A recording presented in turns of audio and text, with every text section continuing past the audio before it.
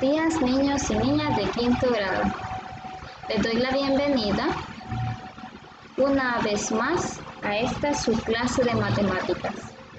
Seguiremos trabajando en la unidad número 10 que tiene como título Círculo y circunferencia. En la lección número 2 encontremos la longitud de la circunferencia.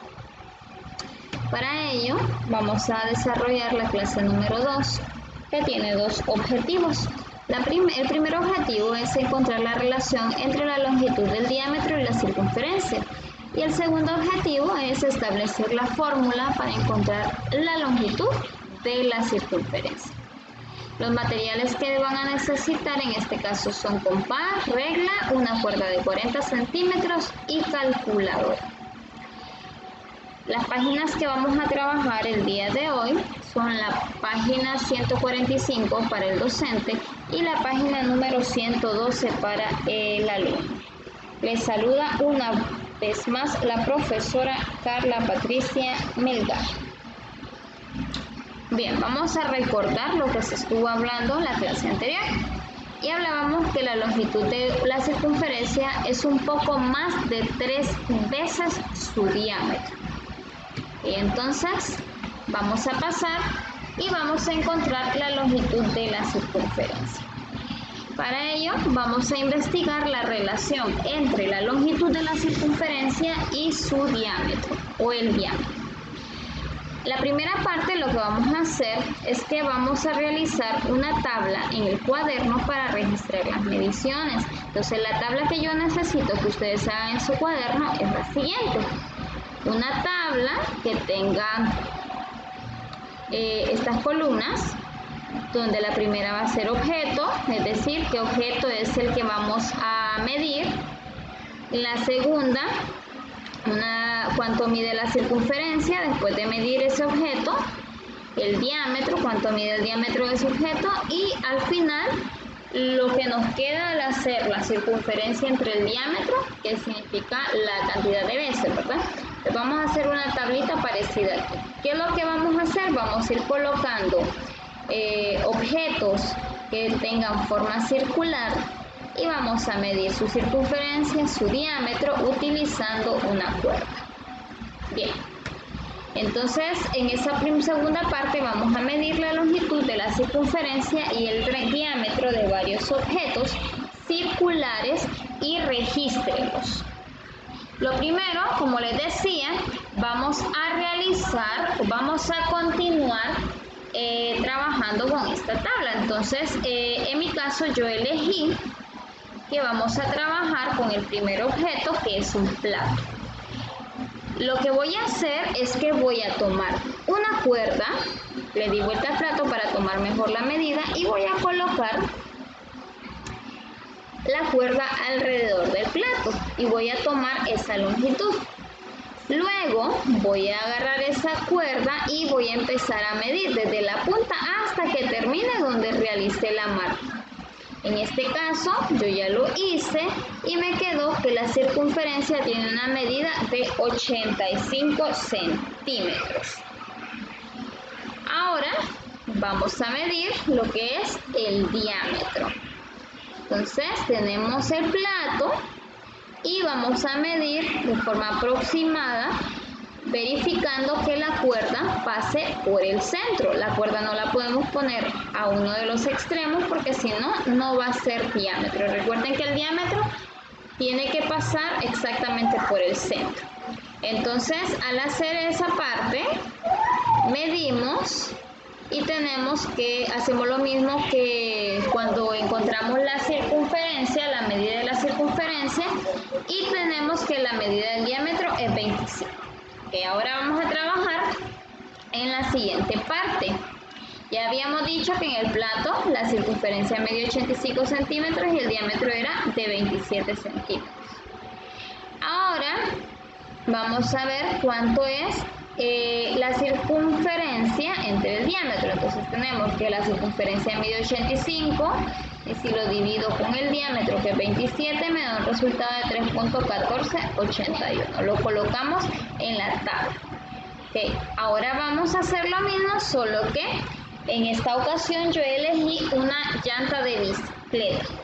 En esta ocasión no voy a poner la fotografía, sino que yo ya lo hice aparte, de la misma manera que trabajé el plato. Entonces, la circunferencia de esa llanta de bicicleta me midió 75.24 pulgadas. ¿Por qué no lo medí con centímetros? Porque iban a ser muchos números.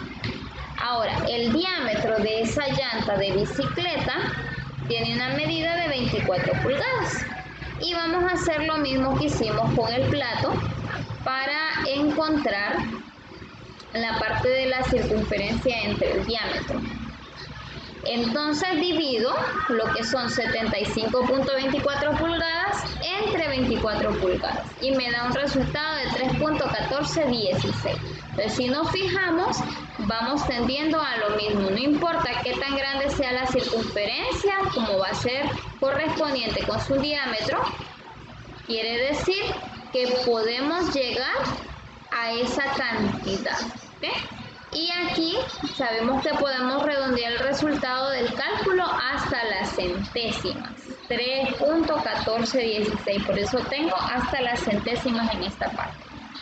entonces recuerden que para poder encontrar o para poder saber cuánto mide la circunferencia de un objeto circular, lo podemos hacer utilizando una cuerda y después medir con una regla cuánto mide el espacio que corresponde a esa cuerda.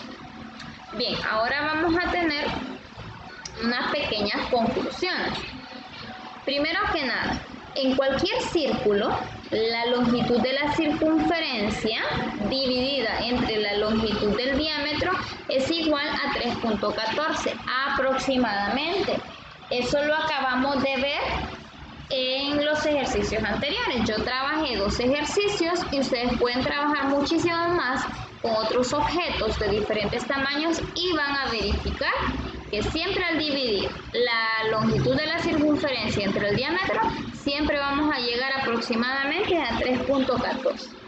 Este número se conoce con el nombre de pi, pi, y se representa con una letra griega que es esta que tenemos acá, y esta letra griega se llama pi.